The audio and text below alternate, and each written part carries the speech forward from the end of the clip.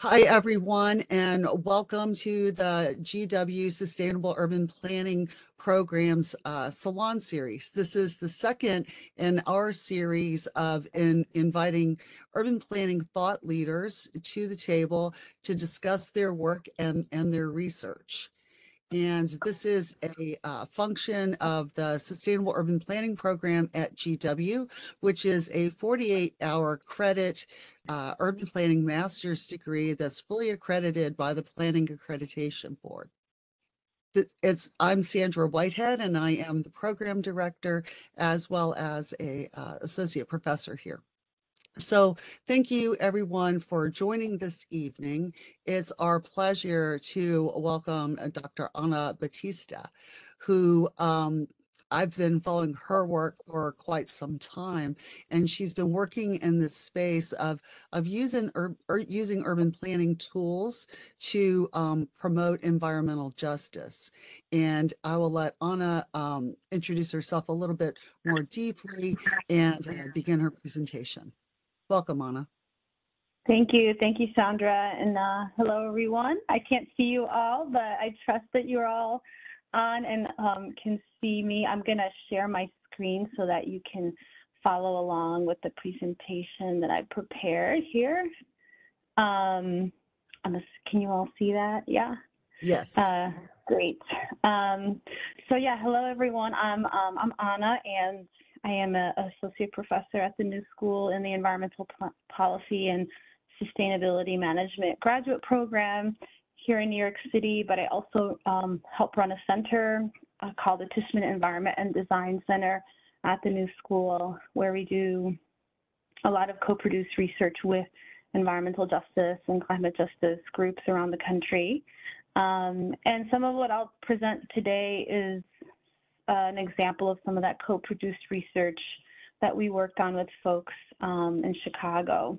Um, so, and you know, most of my work, I was, I'm trained as an urban planner in the sense that I got a PhD in urban planning, but really um, have been doing mostly environmental justice work. First in my own community, I worked as an environmental justice um, uh, organizer in, in Newark, New Jersey, which is my hometown. That's the image that you see on the opening slide there um, of my community. And um, after getting my doctorate, I spent a decade working in the neighborhood doing really uh, hands-on work in the neighborhood on environmental justice, uh, community-based planning, and advocacy work, um, and learned really a lot of what I know about planning and zoning from those decades of work in my own neighborhood. Even though I learned the theory of planning, the practice of it on the ground is, is uh, informative and uh, very instructional. So I, I, learned quite a bit from um, those efforts and have continued to work very closely with um, organizers and organizations on the ground in Newark um, and throughout New Jersey and the, and the, U.S. on many of these same issues. Um, so a little bit about um, zoning and environmental justice and land use. Um, seems like it's quite a hot topic these days. You know, um, zoning and land use when I was in graduate school was not the sexiest of topics, that's for sure. and um, and certainly probably very uh, at the time that I was in grad school, you know, the connections between environmental justice um, and local land use weren't as much of a focus really, uh, certainly not for planners, state, state and, and government planners um, as it is today. Um, and I think today there's a, a, a, much greater awareness of the connections, the deep historical ties um, that land use and zoning have had on the conditions that today we call environmental injustice or environmental racism. And uh, the conditions that we see are not happenstance.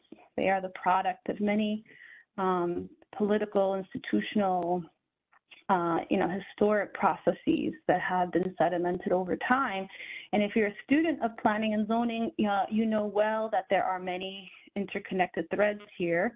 Um, and there's a growing interest in trying to look at state and local policies for addressing environmental injustice because so much of what we, uh, the mess we are in in terms of environmental injustice. Uh, we got here through land use and zoning, and I'm a firm believer that um, it should be a tool to help us get out of it, right? It's not the only way, it certainly is not the only way uh, that we will need to address environmental injustice, but it should be one of the ways um, that we address it. Um, and so there has been a, a, quite a bit of an uptick of interest in both passing state and local laws and ordinances um, that address environmental injustice um, very specifically, uh, which is an interesting trend. And I have some articles here.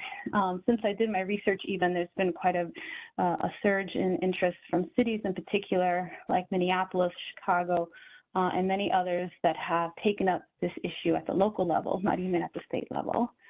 Um, and uh, again, just the connections between uh, environmental racism and land use.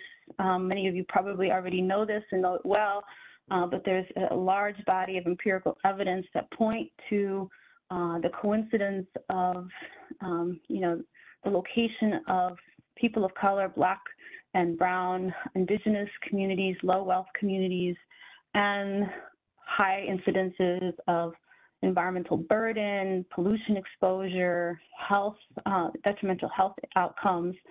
Um, and many of these things tie back to um, things like historical processes like redlining that occurred that uh, restricted the mobility of Black and, and, other people of color in residential areas, the de development of highway systems through um, neighborhoods, black neighborhoods, urban renewal processes that destroyed the fabric of many neighborhoods. Um, and you know, all of these historical processes, along with uh, environmental you know, regulations and permitting that allow the concentration of noxious industries, um, have combined um, to the effect of what we see today, right? Which is that uh, very much today there is this continuing pattern of disproportionate burdens and health impacts in communities of color, uh, and particularly Black communities. Um, so um, if we look at the history of zoning, this shouldn't come as a surprise, really, because um, what we know of zoning's history, uh, relatively recent history, you know, the last hundred years or so or more, um, there was uh, a long period of time where racial zoning, which is explicitly discriminatory forms of zoning that restricted the mobility of Black people and other people of color out of uh, particular neighborhoods, residential neighborhoods, was the law in many, many, uh, many cities. Baltimore, Washington, D.C., uh, New York, and you know, you name it. Most cities had these restrictive racial zoning covenants. And even as racial zoning was explicit racial zoning was outlawed by the courts, um, communities, zoning and planning officials, urban planning in general as a profession, endorsed these uh, racial zoning practices uh, by caveat and used de jure forms of zoning like exclusionary zoning uh, and basically um, class-based zoning uh, to discourage and discriminate against people of color, right? Um, and this led to patterns of settlement and residential and industrial settlement um, that continued to harden racial segregation. And in addition to that, we had environmental regulations that were came into effect later in the 1970s and 80s that were race neutral.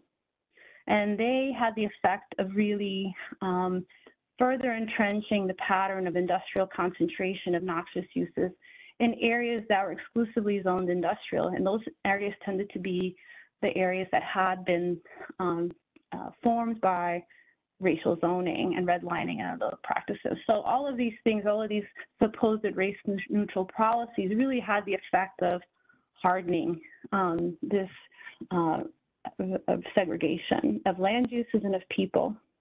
And uh, just one more thing about zoning is, of course, you all probably know this already, um, but uh, zoning is one of the most powerful tools that local municipalities and counties have at their disposal. They control the accumulation and uh, real estate development processes, right? They are very powerful tools And as such, they're delegated to municipalities and counties um, through the police powers granted to states. So states have this power and they delegate it um, through their constitutions to, to, to localities. Now, um, each state does it slightly differently and allows different powers of delegation. So zoning and land use is not the same everywhere. Um, and certainly the organization of sub-state uh, entities is very different. You know, you have the West Coast where you have a lot of unincorporated land, and then you have the East Coast where very, very few, uh, if any, land is unincorporated. and so um, the power of municipalities to pass laws or ordinances differs greatly across the country. Um, and you have places like Texas that severely restrict and sometimes completely forego land use and zoning, um, to states like California that require environmental justice be part of master plans in cities.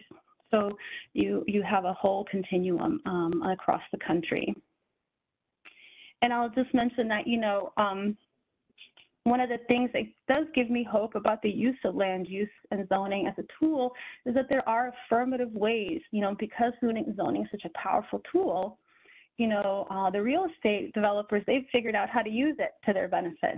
And we, um, planners and, and scholars and community organizations have to also learn and try to wrestle the power of zoning and land use for the benefit of our communities and not just for the exclusive benefit of industries and uh, developers. And there are ways to intervene using the land use and zoning process, and these are just some of the ways that you can do it. You know, you can you know, use land use for all kinds of things like doing impact analysis, strengthening codes, um, creating overlay zones, restricting or tightening controls over land uses to be more protective, uh, you know, augmenting public um, uh, participation and outreach. Um, so there are a whole host of tools at our disposal, and we have to be creative. this is a real a call uh, for folks to be creative in thinking about how to use land use and zoning outside the box um, that sometimes we're taught. Um, so a little bit about the research that we did back in 20, I think this is, gosh, this is 2018, maybe 2019. Um, we got a call, I, I, got a call from friends uh, in Chicago. I had worked for uh, several years, many years, with colleagues in Newark, New Jersey to try to pass a local ordinance on environmental justice and cumulative impacts. And it took us seven years to pass that local law in New Newark.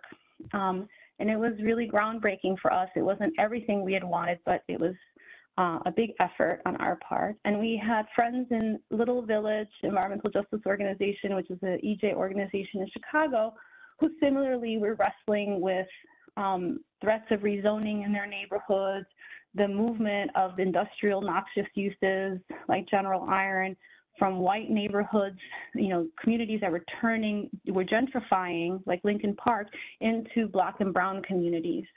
Um, and when they went and complained to the city council and they were fighting at the uh, local land use boards, the planners would tell them, well, there's, we can't do anything about EJ. There's nothing we can do that's outside of our purview. That's the purview of the state and the EPA. We don't get involved in those issues. We just zone according to the land use. And so they came to me and said, hey, how did you do that work in Newark? And can you help us show and prove to the planners in the city that there are ways to address environmental justice? Um, and I said, sure, there's lots of ways because, you know, we knew that when we were doing this work in Newark, we worked with folks in California and other places that had been trying to push local laws.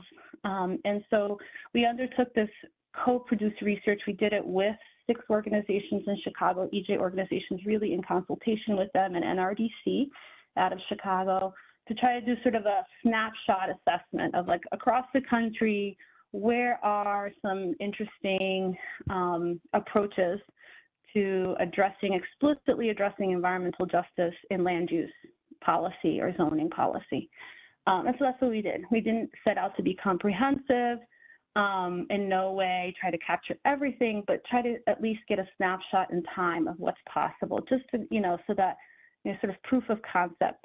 And um, we did this work, and, and that again, I was informed by a lot of the work that we did in Newark um, over many, many years, and we're still fighting rezoning. There's a rezoning proposal right now in the city of Newark that residents are fighting, uh, which is um, downzoning and upzoning EJ communities. Uh, but what we found when we looked across the country was that um, most of the laws that we found that were passed as ordinances explicitly focused on environmental justice had strong environmental justice advocacy behind it and organizing. And so, you know, community cities weren't just on their own being like, you know, it would be great as if we had an EJ law. No, it was really the product of a lot of organizing and intense and often prolonged efforts by local advocates uh, who had been fighting uh, lots of different zoning and land use applications over time and finally got tired of that and really tried to push for reform. Um, and so we saw really strong leadership from the bottom up. And then uh, in many cases, right political opportunities. You know, uh, there was a change in mayor, or there was uh, uh, an opportunity to get city councilors on their side, and residents really pushed for local accountability. And those local political contexts allowed for policy changes that maybe at the state level might prove more difficult um, to win, um, whereas at the local level, residents had more of an opportunity to more directly engage with local policymakers and planners to push uh, an agenda forward. Um, so uh, we also saw that many organizations, environmental justice organizations, were working with their own planners or with planners who were sympathetic to environmental justice and understood environmental justice both within uh, local government and outside of local government, and others pro bono or advocacy planners um, who are helping to do this work alongside and with EJ organizations. Um, and then, of course, we looked at laws, and it won't be any surprise when you see the map.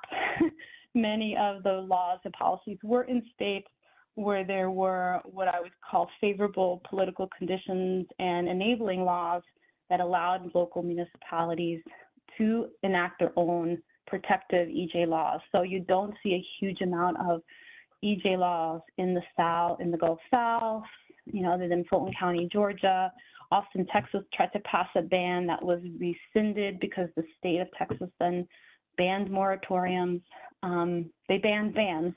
Um, so you see that there's a pattern there of East Coast and West Coast, um, you know, some Midwest um, uh, states with cities that pass ordinances. So um, it follows this trend that we talked about earlier.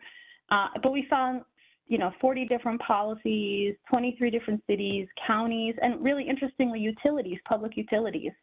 So the Water Commission in San Francisco, um, you know, these are, we don't often think about uh, local utilities as stakeholders in land use, but many times they're, they are large landholders and control large pieces of land and have um, some authority um, to regulate and oversee land uses uh, under their purview as well. Um, and some of them, like highlights from that study, were, um, you know, sort of how these typologies of the types of policies that cities um, and counties proposed. Um, some of them were bans, you know, sort of outright prohibitions on the types of noxious facilities that communities wanted to avoid, or they felt like we have too many of too much of this, we don't want any more. Many times those were facilities tied to fossil fuel infrastructures, uh, but not exclusively. Um, then you had general EJ policies, you know, uh, you know, communities like Fulton County, Georgia, um, and others had, you know, sort of broad sweeping commitments to environmental justice and environmental justice programs and strategic goals that they set out across multiple agencies. Um, many um, cities, and I see this is an increasing trend that is like the favorite kind of type of policy, which is environmental review processes. And these are um, processes that try to mimic almost the state environmental permitting processes where new developments and industries have to undergo some kind of a review process, either to ascertain cumulative impacts or burdens on environmental justice communities before they're allowed to move forward in the development process. And so this ties land uses to development um, decisions in the cities. Um, and this is done through a variety of ways. Um, Then there's like proactive planning. I'd say the most best example of that is sort of the green zones model, which came out of California and the Los Angeles and Commerce um, communities that really pushed for trying to get specific designations that were proactive in the sense that they both protected, laid um, certain protections in those zones for those communities, but in addition also targeted investments and talked about, you know, how what do we how do we attract the types of development we want and not just stop the developments uh, that we don't want. And then uh, you had a few communities that had um, targeted land use measures. It, you know, it's harder to get at. It's most of these policies were are targeted at new proposals or new developments or future developments. Um, and there are some cases where communities are looking at existing, what do we do about existing concentrations and grandfathered uses in our communities? Uh, so there were some creative approaches like amortization laws that tried to phase out non-conforming uses.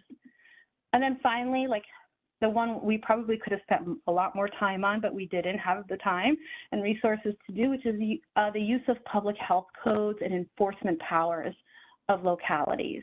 You know, how do you use your health officers or enforcement code code enforcers um, to, in, you know, try to make improvements in, in um, the conditions in land uses. Um, so that was another type of typology of policies we found.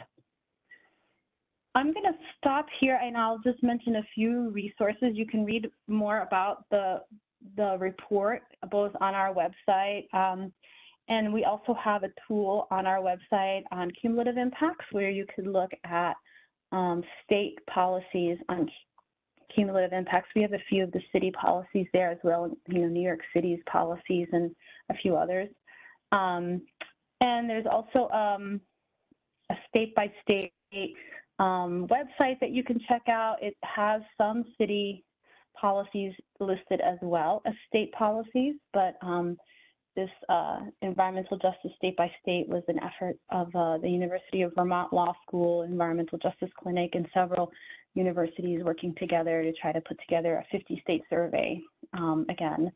So you can check those policies out as well. But yeah, I'll stop here so that there's time for questions. Thank you very much, Dr. Baptista. That was really, really interesting and, and deep for such a short period of time. Um, I'm going to open it up for uh, questions to the group.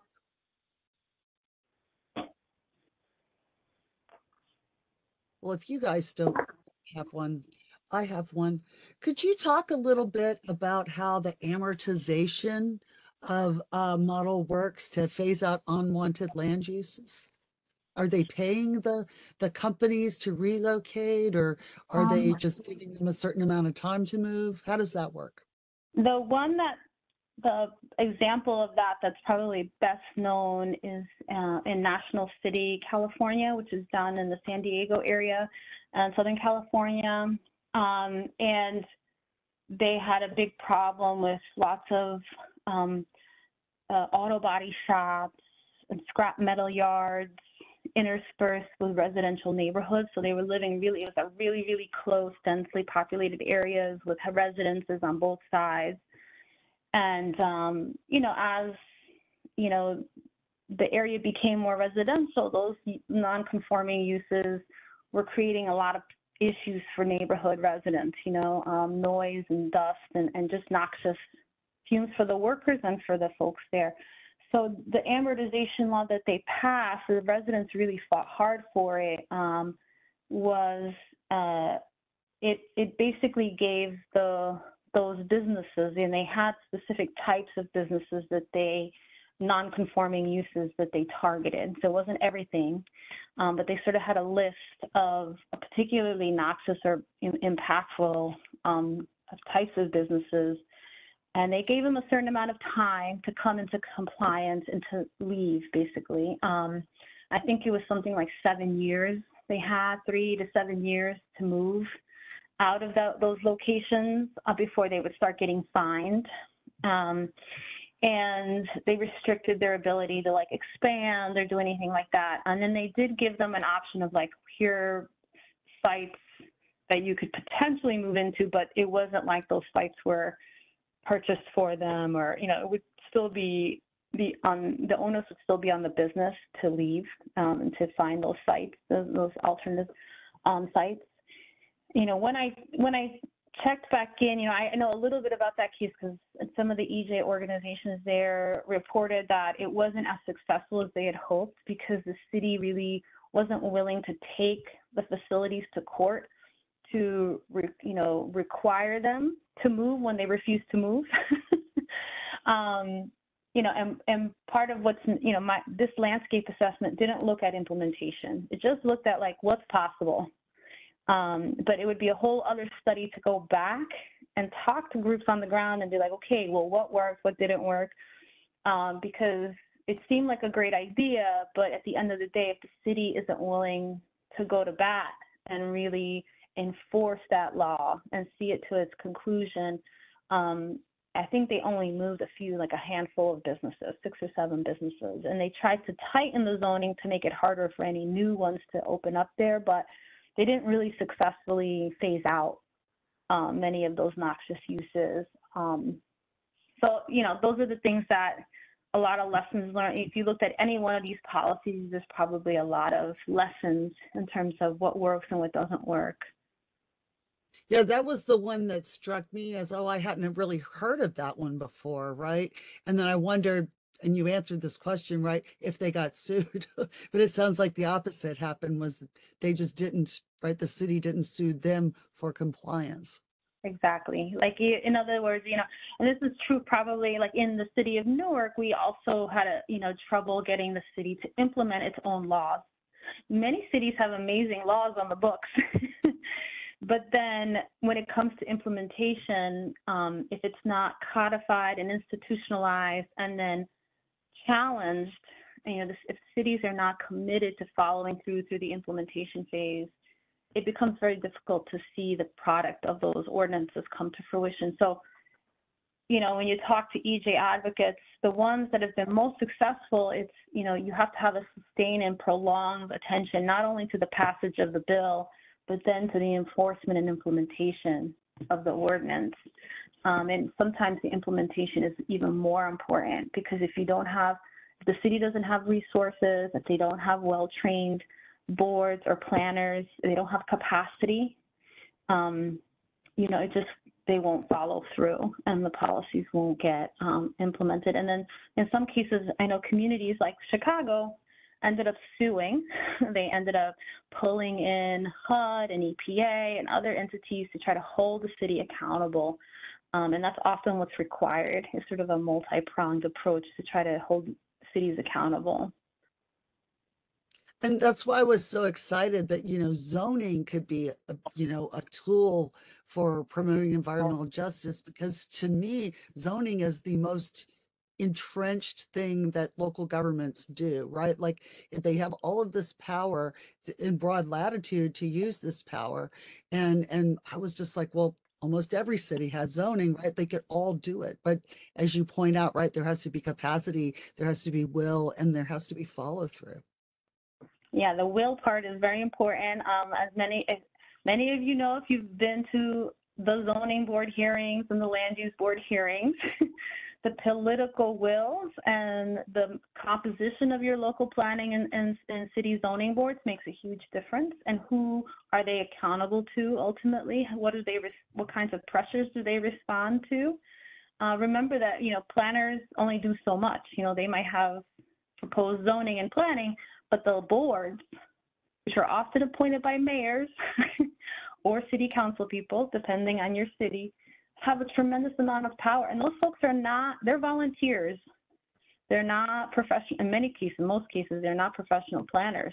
Um, and so, you know, how these decisions get made, you know, it, it really requires a lot of organizing um, by groups on the ground. I've been hogging the conversation. I want to make sure that other folks can can jump in. Um, go ahead and unmute yourself, Susan. You can um, ask your question. Hey, Ana, we haven't seen each other in a very long time uh, since we worked together when I was in Newark at Rutgers. I'm just wondering if you could talk a little bit about efforts to um, engage communities in those zoning board proceedings. I mean, you know, as, as, I'm sure most of you know, many of those hearings happen at a time that's very difficult for people with families or working families to get to. Um, they're, you, you know, could have to sit there for three hours waiting to speak for two minutes. And there's some very often very um, what the board and adversaries try to make sound very technical and intimidating. I'm wondering if you could talk at all about community education or outreach efforts that have been successful um, to enable more people to engage at the zoning decision making level. Yeah, um, you know the the some of the best organizing I've seen has come from local groups like the one I used to work for, Ironbound Community Corporation in Newark and Little Village in Chicago and East Yards for Environmental Justice in California. These are groups that environmental justice grassroots groups that understand land use and zoning fights. They understand them, um, and they've been in the trenches bringing people by the busloads to their local land use boards. And how do you get people to do that, right? Like it's super boring you know, it is not easy work. That's work that's built up over lots of time, organizing residents, not just on one issue, but on many issues. Um, and when, you know, those organizations call forward residents and members to come out to hearings, um, there's been a lot of political education behind that, right? So to understand how this fits into the bigger picture. Um, there have been great, you know, zoning and land use uh, 101s, like, you know, in the city of Newark, um, there were a lot of efforts to go ward by ward to do zoning 101 pop-ups. You know, they would, you know, pull out like Legos and show people the basics of zoning, um, understanding even more importantly, the politics of zoning. Who makes the decisions and at what point can the public intervene? Those are the most important pieces of information that um, people come armed with um, and understanding the bigger picture, right? Like how does this one decision fit into the bigger picture?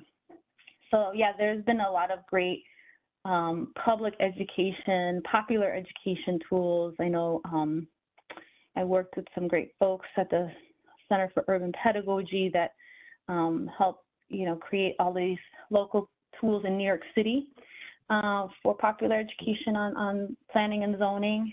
Um, but you know how you get people to meetings that's like organizing 101 you know like it's amazing to me like people come out and honestly since covid a lot of local planning and zoning boards have gone online and that has been great because now all of a sudden you don't have to bus people to the city hall and you know really you got to have diehard people ready to go and sit for hours.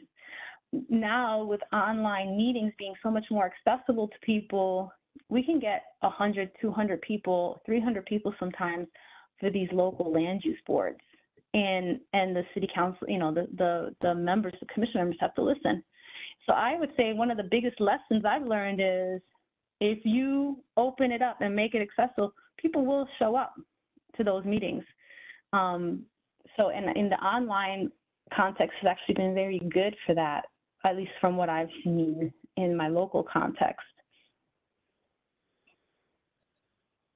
Thanks for that. Uh, Michael, you want to unmute and ask your question?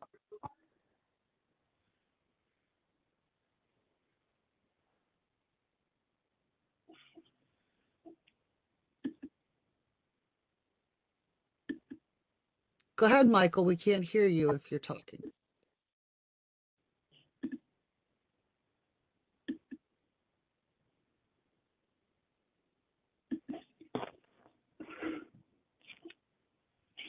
So it seems like your microphone is on, but we can't hear what you're saying. Yeah, why don't you type it into the chat?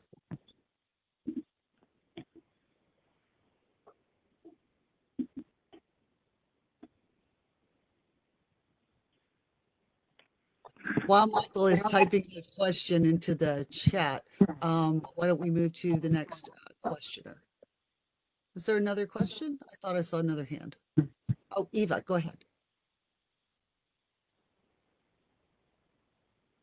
Hi, Ana. Um, I don't know, we have passed each other in many uh, arenas here in New York City. In particular, I've done a lot of work with uh, the New York Environmental Justice Alliance and most of their members. Uh, I have a question specifically about the green zones in California. And how many or any have they actually been able to develop and implement overlays, land use and zoning overlays? Mhm. um, in um, in um, I understand the the organizing and the comprehensive plans or the policy plans, but are there some examples where um, they've actually gotten green overlays, zoning overlays Yeah, in uh, particular? Yes, they did. They have. Um, the the biggest examples LA City and LA County and Mhm. Commerce. Those three are very popular because they were the first, um, and they were called cleanup green up zones. Um, and they were in three pilot neighborhoods in LA City. Um, LA County was doing it for the whole, you know, whole county. They weren't piloting it like like LA. Um, and the California Environmental Justice Alliance, CEJA, just put out a report. Maybe it was six months ago, or you know, uh, a while. ago. I just saw it that has 18 case studies of green zones in California that you can read up, read about. I can put the. I think I might have the link here somewhere, so I'll I'll just put the link in the chat so you can check it out and see where they've gone since the initial proposal, which was really a pilot that LA and Mhm. commerce tried and then it kind of spread and then each each community that's tried it has done something slightly different and they've used some of them have used overlay zones some of them have gone just like the total um, like visioning and planning and trying to attract certain types of investments um, Minneapolis tried the green zones approach, but you know, to varying effect. I think the Minneapolis EJ communities were not happy with the results of the green zones. Um, you know, because they're also dealing with the pressures of gentrification. You know, so like there, there's always this like push and pull around who's laying the groundwork and the framing of what's good or bad in terms of zoning in an area. You know, like one person's making something greener, it could be another person's like, oh, you're just gentrifying our neighborhood. Um, and so really there has to be a lot of local input into what those green zones look like and what, what you want. What, what does the community actually want to attract? Um, and that's why the, I think the Minneapolis one was a, like a mixed bag. So a lot of EJ groups felt like that was proposed from people outside saying what should be in those neighborhoods as opposed to people in those neighborhoods saying what they wanted. Mhm. Um, but yeah, I'll I'll put the um, I'll put the uh, CEJA report here so you can look, read up more on the green zones there. Thank you.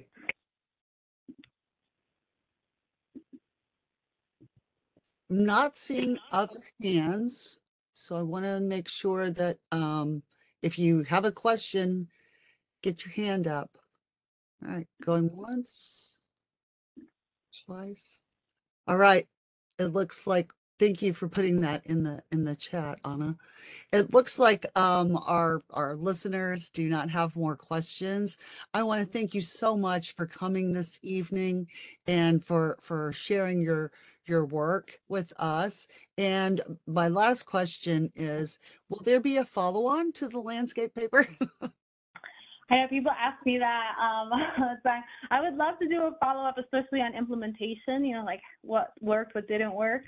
Um, you know, I think if there was a good partner, I I I'd prefer to do it with EJ partners who are interested in doing that work. Um, so you know, I think if there's an interest from EJ groups to do that follow up, we, we would we would take it on. It, it would be a big inter- other, uh, undertaking um, because implementation is always messier than uh, than just passing the law. But but yeah, maybe the answer is maybe if there's a group out there who wants to partner with us and um, co-produce that.